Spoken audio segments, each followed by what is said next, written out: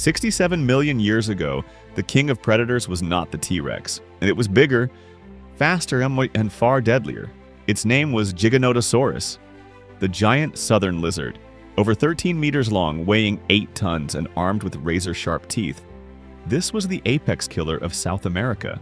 In what is now Argentina, Giganotosaurus ruled a warm, fertile land filled with colossal prey, including the mighty Argentinosaurus, one of the largest dinosaurs ever. Unlike T-Rex, its jaws weren't made for crushing, but slicing, each tooth curved and serrated, like a butcher's knife built for tearing flesh. It hunted in the shadows of forests, stalking herds, waiting for the weak or wounded. When the moment came, it attacked with lightning speed. The earth shook as it charged, claws digging deep into mud, jaws opening wide in a blood-curdling roar. Imagine the scene. A 40-ton Argentinosaurus turning slowly as the predator bites again and again, carving deep wounds. The ground trembles with every strike.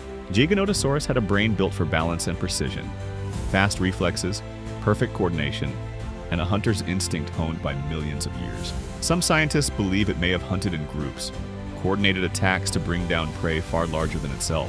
A pack of killers, not just one. The skies filled with pterosaurs, rivers ran through endless forests, and the world was alive with sound.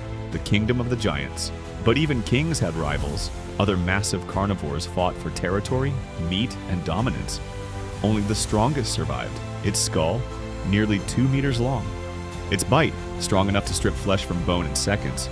Its speed, deadly for its size, sprinting up to 50 kilometers per hour in short bursts. But nothing lasts forever. Climate shifts, volcanic eruptions, and new predators marked the end of its reign. The age of Giganotosaurus faded into dust. 65 million years later, its bones emerged from the sands of Patagonia. Massive jaws, knife-like teeth, and clues to a forgotten empire.